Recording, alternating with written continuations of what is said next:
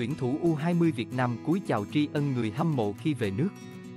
Các tuyển thủ U20 Việt Nam đã trở về nước sau hành trình tham dự vòng chung kết U20 châu Á 2023 tại Uzbekistan.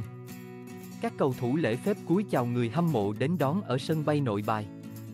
Chiều ngày 9 tháng 3, chuyến bay nối chuyến từ Istanbul, Thổ Nhĩ Kỳ, về Hà Nội đã hạ cánh, khép lại hành trình U23 châu Á 2023 của đội tuyển U20 Việt Nam.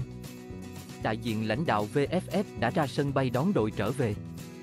Dù di chuyển hai chặng bay kéo dài hơn một ngày, các cầu thủ U20 Việt Nam vẫn nở nụ cười thân thiện và chào hỏi lễ phép cổ động viên. Quốc Việt chụp ảnh bên cạnh cổ động viên nhiệt thành.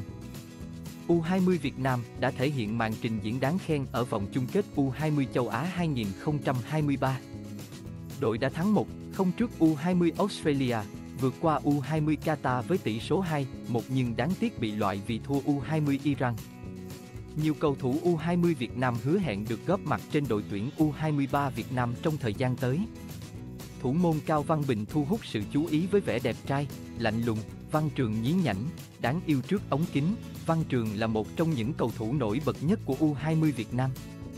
Huấn luyện viên Hoàng Anh Tuấn nói, thành tích U20 Việt Nam ở giải lần này tôi nghĩ là chấp nhận được. Chúng ta còn nhiều khoảng cách so với các đối thủ top đầu. Nhưng việc các cầu thủ chơi tốt qua những trận đấu cũng là điều để chúng ta tin tưởng. Khuất Văn Khang hy vọng anh sẽ được trao cơ hội ở Viettel.